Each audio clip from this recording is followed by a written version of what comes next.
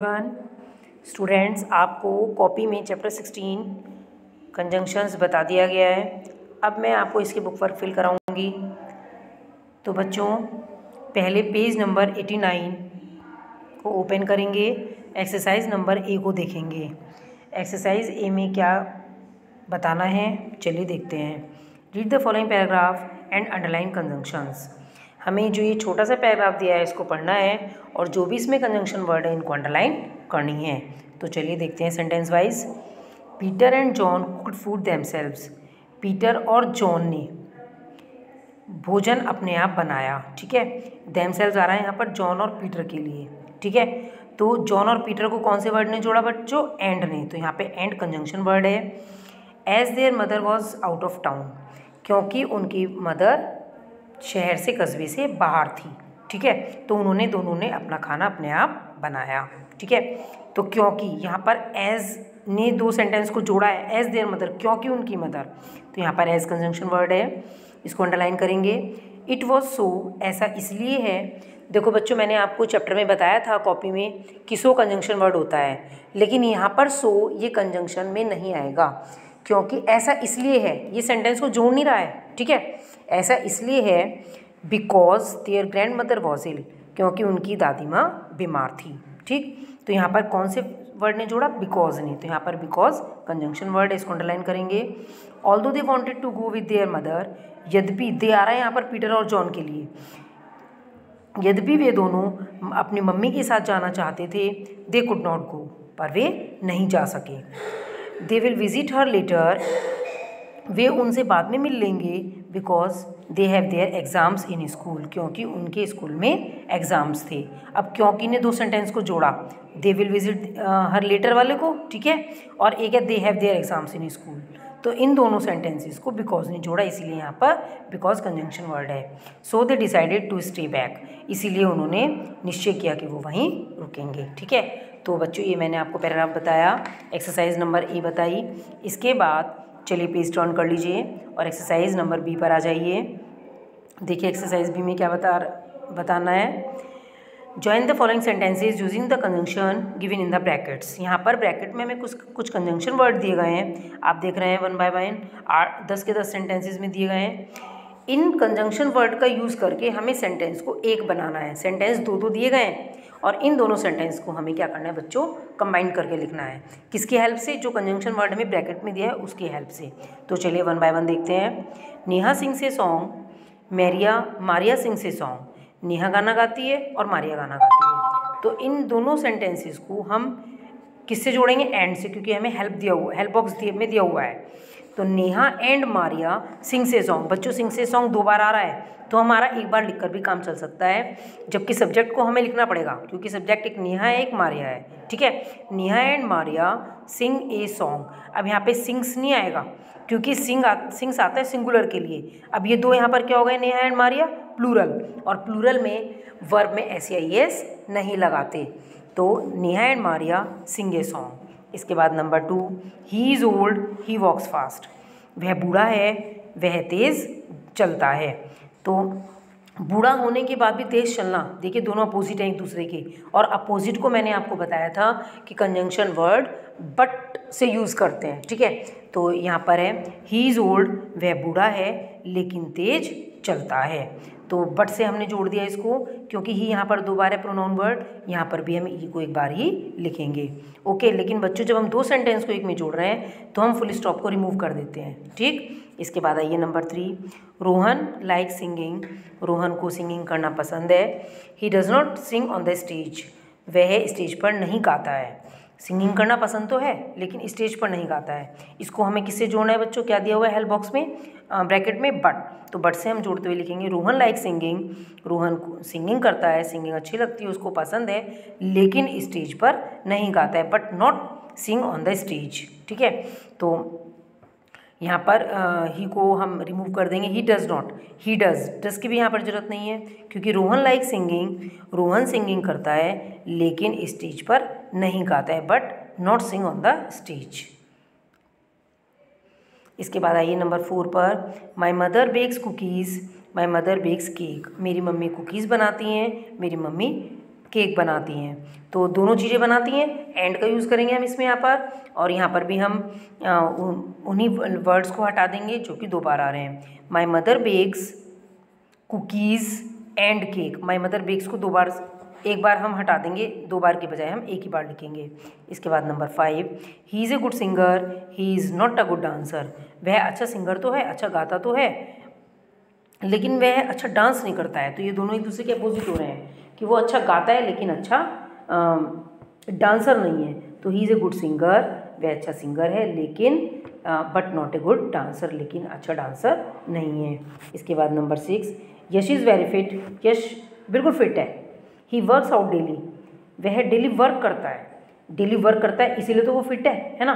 वो फिट है, इसीलिए वह फिट है क्योंकि वो डेली वर्क करता है। ठीक? तो इसको कैसे जोड़ेंगे? Yash is very fit Yash बिल्कुल फिट है, क्योंकि because he works out daily क्योंकि वो डेली वर्क करता है।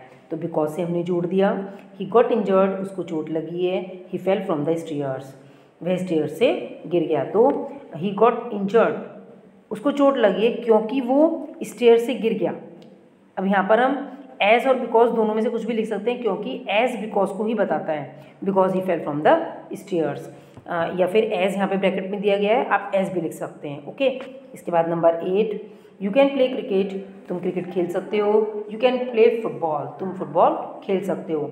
अब दो में से हम एक ही दो गेम खेलेंगे तो दो में से एक के लिए चॉइस आ रही है यहाँ पे। और चॉइस के लिए मैंने आपको कौन सा कंजंक्शन वर्ड बताया था स्टूडेंट्स और तो यहाँ पर यू कैन प्ले क्रिकेट और फुटबॉल यू कैन प्ले दो बार आ रहा है ना? तो बाद वाले को रिमूव कर देंगे. यू कैन प्ले क्रिकेट और दो, और और कंजंक्शन वर्ड को जोड़ेंगे और फुटबॉल और बीच में से हम फुल स्टॉप को रिमूव कर देंगे. इसके बाद नंबर नाइन देखिए नंबर नाइन यहाँ पर नेक्स्ट पेज पर आ जाइए. ही प्लेज़ वेरी वेल वह बहुत अच्छा खेलता है. He has been getting training since childhood उसने बचपन से ही चाइल्डहुड बचपन से ही गेटिंग ट्रेनिंग ट्रेनिंग ले ली थी. किस चीज़ की? खेलने की. तो वह अच्छा खेलता है क्योंकि उसने बचपन से ही खेलने की ट्रेनिंग ले ली थी। तो यहाँ पर इस सेंटेंस को भी हम बिकॉज़ से जोड़ देंगे। He plays very well because he has been getting training since childhood okay इसके बाद number ten he knows maths well वह मैथ्स अच्छी तरह से जानता है। ही लाइक्स मैथ्स उसको मैथ्स पसंद है। तो ही नोज़ मैथ्स इसको हमें बिकॉज़ से जोड़ना है। ही नोज़ मैथ्स वेल वह मैथ्स अच्छे अच्छे से जानता है क्योंकि उसको मैथ्स पसंद है। ठीक है? तो बच्चों, मैंने आपको एक्सरसाइज ए और बी बताई। इसके बाद जरा एक्सरसाइज सी पर आ जाइए। देखते हैं इसमें क्या बताना है, क्या पूछा जा रहा है। Choose the correct option to complete this sentence अब देखिए बच्चों, यहाँ पर ऑप्शन को करना है। यहाँ पर choose the correct conjunction word नहीं है, ठीक है? तो इसमें प्रिपोजिशन कंजंक्शन कोई भी हो सकता है। आपको सेंटेंस को पढ़ने के अकॉर्डिंग उसमें फिल करेंगे, ठीक है? I will go to Mumbai मैं मुंबई जाऊँगा। Dash the weather is clear क्योंकि मौसम साफ़ है। मौसम साफ़ है, इसलिए मैं मुंबई जाऊँगा, ठीक है? बिकॉज़ से फिल फिल कर दिया हमने, बच्चों।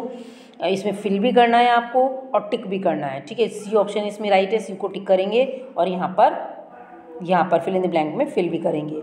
Number two ring me dash lunch तो अनलेस आफ्टर और वेदर लंच के बाद मुझे रिंग करो। तो बाद का कौन सा वर्ड होता है बच्चों? आफ्टर ठीक है तो यहाँ पर बी वाले ऑप्शन को टिक करेंगे पहले वाले में सी को टिक करना है नंबर थ्री में।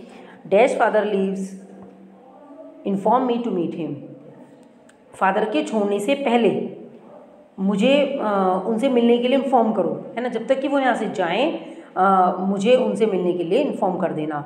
तो यहाँ पर बिफोर के लिए कौन सा वर्ड आता है बच्चों? आ, पहले के लिए बिफोर तो यहाँ पर ऑप्शन सी वाला सही है। इसके बाद बच्चों ये फोर्थ वाला आप काट दीजिएगा है ना? ये सही नहीं है। इसके बाद आइए नंबर फाइव पर। Dash we were playing it rained while we were playing जब हम खेल रहे थे तो बारिश हो गई। तो जब के लिए यहाँ पर कौन सा वर्ड आया बच्चों? वाइल तो मैंने बच्चों आपको यहाँ पर एक्सरसाइज सी बताई। इसके बाद एक्सरसाइज डी को देखेंगे। चलिए इसमें देखते हैं। Complete the following sentences using appropriate conjunctions देखिए, यहाँ पे बात क्लियर है कि कंजंक्शन ही फिल करना है और ऊपर वाले सेंटेंस में था चूज़ द करेक्ट ऑप्शन तो उसमें इन तीनों में से कोई सा भी हमें फिल तो करना है, लेकिन ज़रूरी नहीं है कि वो कंजंक्शन वर्ड ही हो, क्योंकि बिफोर आफ्टर ये सब प्रिपोजिशन वर्ड होते हैं, ठीक है? आइए इसमें ज़रा फ़र्स्ट सेंटेंस को देखिए। He arrived late at the station वह स्टेशन पर लेट पहुँचा। So he missed the train इसलिए उसकी ट्रेन मिस हो गई। तो इसलिए के लिए कौन सा वर्ड बता रखा है बच्चों मैंने आपको conjunction word so.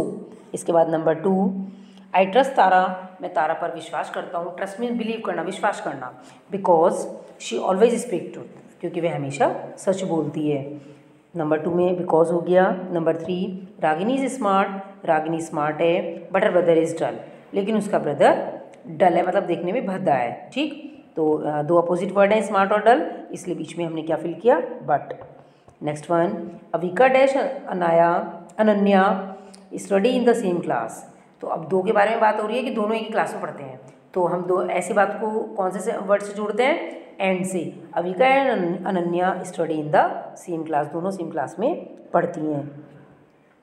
The teacher likes Rohan teacher Rohan को पसंद करता है या करती है। टीचर अब यहाँ पर कॉमन नाउन है। हमें नहीं पता कि वो मेल है या फीमेल है है ना? ये मैंने आपको जब नाउन पढ़ाया था चैप्टर तब बताया था। The teacher likes Rohan teacher Rohan को पसंद करता है because he is working hard working student क्योंकि वो बड़ा ही कठिन परिश्रमी विद्यार्थी है। इसके बाद next one dash he is rich he is very kind although he is very all दो ही इज़ रिच यद्यपि वह अमीर है ही इज़ वेरी काइंड वह दयालु है। बहुत लोग क्या होता है, बच्चों के अमीर होते हैं तो किसी के ऊपर दया नहीं करते। है ना? बस अपने अपने में मस्त रहते हैं, है ना? कोई भी उसको पुअर दिखे या कोई बैगर दिखे या कोई हेल्पलेस दिखे तो वो उनकी हेल्प नहीं करते हैं। लेकिन कुछ ऐसे होते हैं कि अमीर होने के बाद भी बड़े ही काइंड होते हैं, बड़े ही दयालु होते हैं, सबकी हेल्प करने के लिए हमेशा रेडी रहते हैं। तो यहाँ पर इसी सेंटेंस में ये बताना है ऑल दो इज़ रिच यद्यपि वह अमीर है इज़ वेरी काइंड वह दयालु है। नेक्स्ट है आप number seven dash his house was small यद्यपि उसका घर छोटा है it had a garden view तो उसके घर में गार्डन भी है। तो छोटा घर होने के बाद भी घर में गार्डन रखना, देखो बच्चों, कितनी बड़ी बात है। छोटे घर में तो घर वैसे भी मेंटेन नहीं हो पाता, लेकिन कुछ लोग होते हैं जो कि ग्रीनरी को, जो गार्डन को पार्क को बड़ी इंपॉर्टेंट देते हैं, है ना इंपॉर्टेंस होती है उनके लिए। तो यहाँ पर भी वही बात है जो ऊपर वाले सेंटेंस में all this house was small यद्यपि उसका घर छोटा है है ना it had a garden view उसके घर में गार्डन भी है। Next one number eight you will eat your food तुम अपना भोजन कर लोगे and you finish your homework और अपना होमवर्क फिनिश कर लो। तो तुम अपना भोजन कर लो और होमवर्क फिनिश कर लो। दोनों काम तो बीच में हमने एंड से जोड़ दिया। Next he picked my package उसने मेरा पैकेज उठा लिया। After coming to office office से आने के बाद ठीक है? तो आ, बाद के लिए हम कौन सा वर्ड यूज़ करते हैं? आफ्टर और आफ्टर बच्चों कंजंक्शन वर्ड नहीं होता है। आफ्टर वैसे कौन सा प्रिपोजिशन वर्ड होता है? ठीक है? लेकिन यहाँ पर आफ्टर से ही सेंटेंस को कंप्लीट किया जा रहा है। नेक्स्ट है number ten I could not go to school yesterday मैं कल स्कूल नहीं जा सकता था because I was I was not feeling well क्योंकि मैं अच्छा महसूस नहीं कर रहा था। तो बच्चों, ये मैंने आपको ए बी सी और डी चार एक्सरसाइजेज बताई। आई थिंक आप कॉपी वर्क कर चुके होंगे। आपको बुक में चैप्टर फिल करना है। बच्चों, जो भी वर्क आपको स्कूल में बुक में या कॉपी में कराया जाता है वो आपको संग संग करते हुए चलना है। कभी भी आपकी बुक कॉपीज चेकिंग के लिए मंगाई जा सकती हैं। अगर आपका वर्क इनकम्प्लीट होता है तो बच्चों, आपको जब बैग आपका चेकिंग के लिए मंगाया जाता है तो बड़ी प्रॉब्लम क्रिएट होती है। आप उस टाइम बहुत जल्दी जल्दी करके करते हैं। कोई बच्चा पीडीएफ मंगा रहा है, कोई बच्चा वीडियो मंगा रहा है। क्यों? क्योंकि आप समय समय पर वर्क तो करते नहीं हैं। तो आपको उस समय प्रॉब्लम क्रिएट होती है। तो इसलिए बच्चों आई होप ये मैं आपसे आशा करती हूँ कि आप लोग समय समय पर अपना वर्क करेंगे। जब भी कोई भी टीचर कोई भी सब्जेक्ट टीचर आपका वर्क भेजे, बच्चों, आप समय समय पर करेंगे तो उसका बेनिफिट आपको होगा और हमें भी होगा। Okay students thank you and have a nice day